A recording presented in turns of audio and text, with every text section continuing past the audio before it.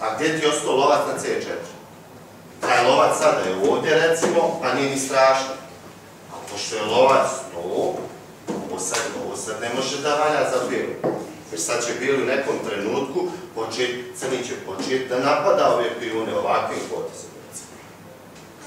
I to sve sebe dovedeš u situaciju zato što si zato što si u ovoj poziciji, umjesto da odigraš H3, pa ćeš da vidiš da li ćeš igraš D3 ili D4 i sasvim normalno da nastaviš partiju, jednim potezom sebe dovedeš u takvu situaciju da moraš da misliš o stvarima koje nisu ni proste za riješiti. Znači ovo da igraš prvo H3, em korisno spriječ, spriječavaš taj lovac G4, em si otvorio kralja.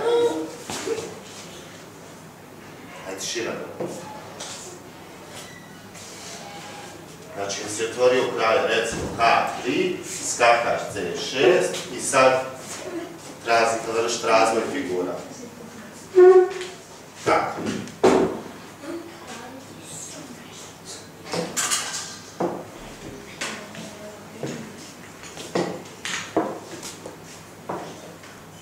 D3.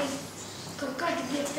D3 je normalna poteza. Zašto D3? Ako imaš bijeli, da bi otvorio lovca, ali tog lovca možeš otvoriti sa D4.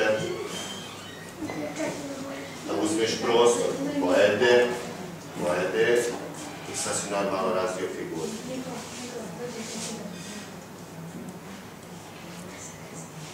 Recimo sad igra, skakaš D4, dama D4, e sad, šta ako igram recimo u ovoj poziciji potez lovac E6?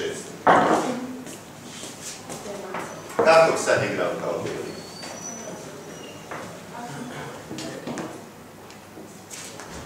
Koje ime novca? Dobro, ali šta dalje? Šta dalje? Kad pojedeš lovca, Mora jesti šakom. mora jesti pešakom i šta sad? I onda posle... Lova C6, F6 i šta sad? Koji sad potez?